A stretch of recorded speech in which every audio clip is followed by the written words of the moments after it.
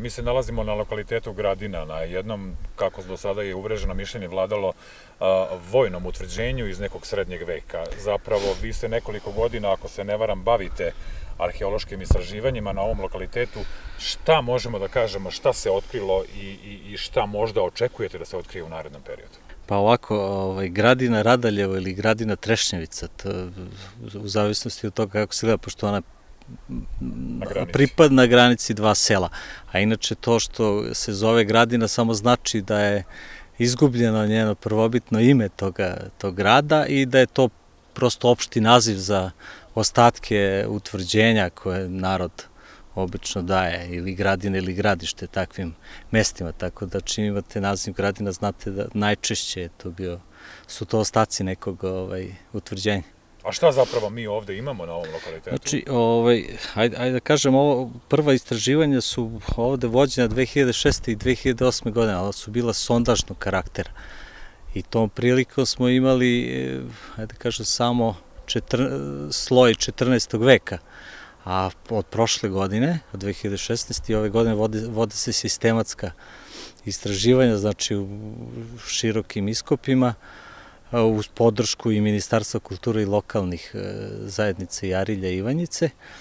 I dobili smo onako, ajde da kažemo, vrlo značajne rezultate, tako se pokazalo da samo tvrđava ima četiri horizonta življenja od praistorije, od koje su ostaci samo nek fragmenti keramike, od arhitekture nije nažalost ništa ostalo, prosto to, u to vreme nije ni bilo maltera i ti zidovi su se prosto razgradili. Onda imamo fazu šestog veka, odnosno renovizantijsku fazu utvrđenja i dobar deo zidova koje ćete gore videti pripadaju tom vremenu.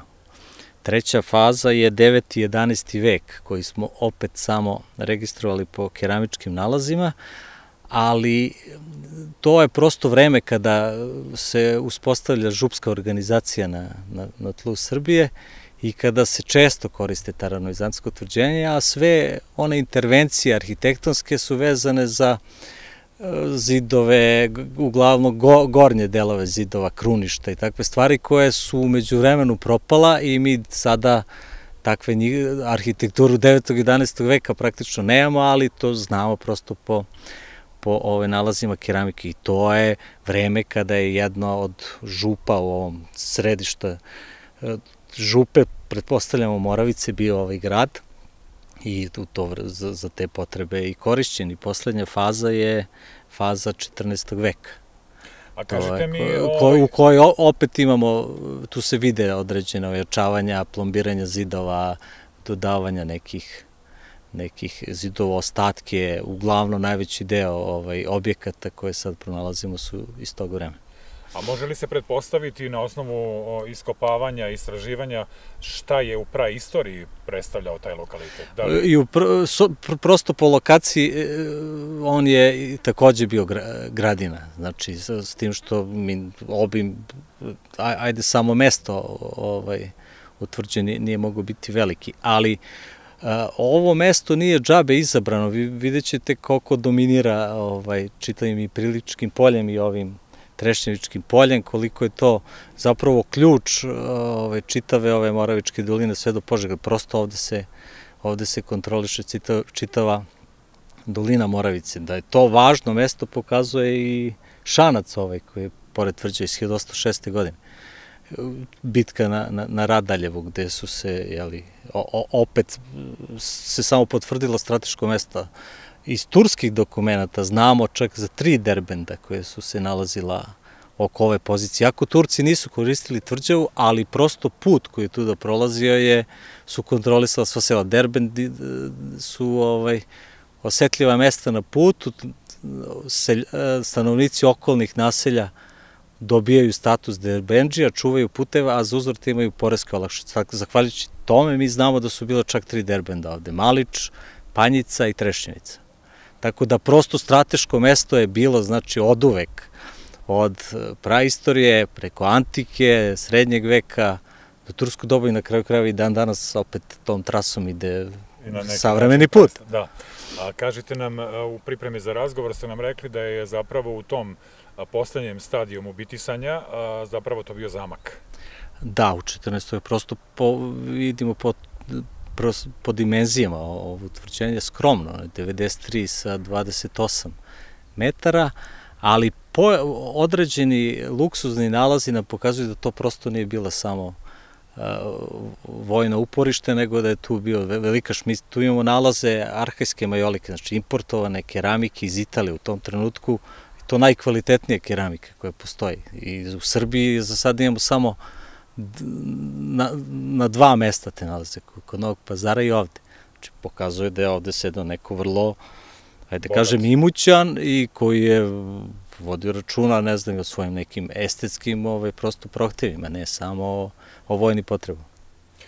A imali uslova i šanse da je to, da je recimo graditelj bio Nikola Altomanović, pošto je u tom nekom periodu vladao? A, pa to, nažalost, mi ovde nemamo nikakvih istorijskih podataka. Koliko uopšte za Moravici jako skromne istorijske podatke imamo i onda je arheologija je način da se nešto ovaj, sazna moje prosto ovaj, lično uverenje da je, da je tvrđava da li je on bio ili neko od njegovih ovaj, bitnih ljudi, to ne znamo, a, ali ja isto intimno mislim da je, da je tvrđava i stradala u, u tom trenutku. Ovo jeste on teritorija upravo Nikola Tomanović i moguće da je u vreme kada se prvi put pominje Užice 1373. godine, kada je Nikola Tomanović bio poražen, ne znam, da je da je tom porazu prethodila i ovde, verovatno, osvajanje ove tvrđave od strane koalicije, ali tvrtka Kneza Lazara i Da.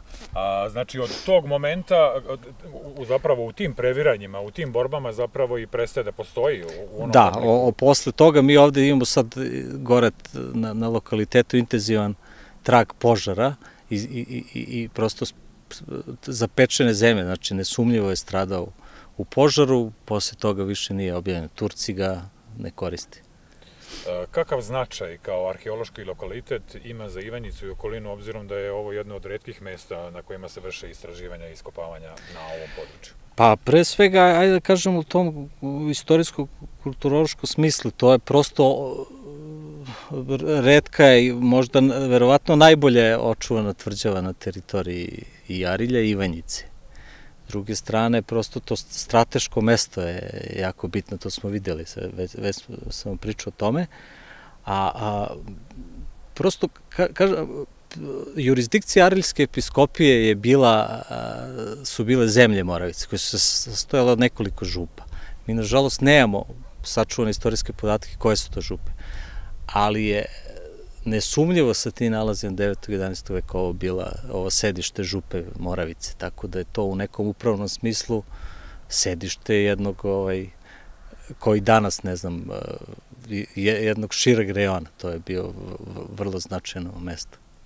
Kažite nam još, ovaj, da li ste u, u arhivama možda pretraživali, znamo za priču koja, da kažem, se eksploatiše na ovom području, da je zapravo Ivanjica i Arilje leže na arheološkim nalazima, ali evo, ovo je jedan od prvih Da li možda i poslednji, A, pa, da li se ima nekih saznanja o nekim drugim mestima, kao što recimo se priča o gradu Hercega Stjepana u Erčegama i tako da. Da, pa ovaj grad u Erčegama je, opet sam ja delimično istraživo, ali e, mi zapravo ne znamo šta se sve nalazi na teritoriji opštine Ivanjice. Nikada ta opština nije sistematski izrekognosena, odnosno nisu obiđena stara sela, stara groblja, oni toponimi. Je li država, pa, lokalna samuprava, ko, ko bi trebao da se malo više bavi time?